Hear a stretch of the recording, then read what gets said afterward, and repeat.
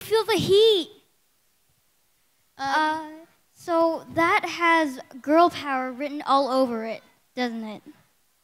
Um, yeah, I think that is the song that tells you all about uh, the Láng Hạ duet.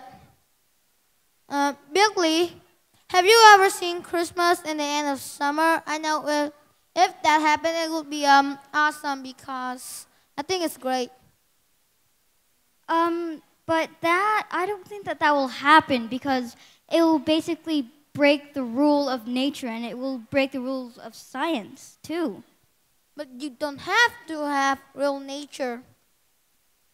But right now, you for Christmas all around with the song Let There Be Peace on Earth. Welcome Việt Choraling.